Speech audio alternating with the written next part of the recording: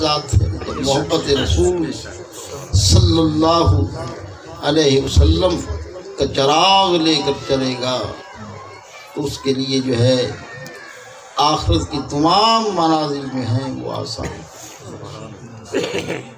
نبی پاک صلی اللہ علیہ وسلم نے ارشاد فرمایا، انسان جب فوت ہو جاتا ہے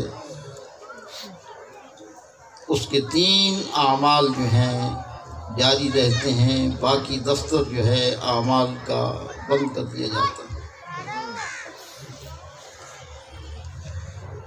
فرمایا، اگر عالم تھا تو علم نافع اس نے سکھایا۔ یہ علم کا فیض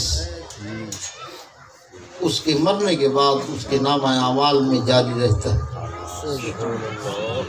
فرمایا کہ پھر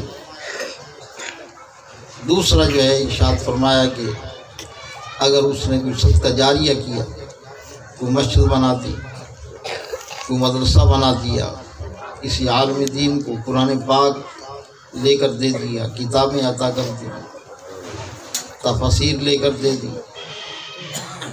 تو وہ عالم دین اس کتابوں کو پڑھ کر درس دیتا ہے واز کرتا ہے۔ تو وہ بھی عمل جو ہے اس کا جاری رہے گا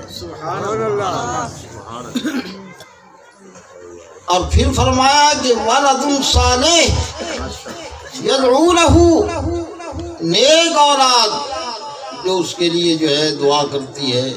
بخشش کی دعا کرتی ہے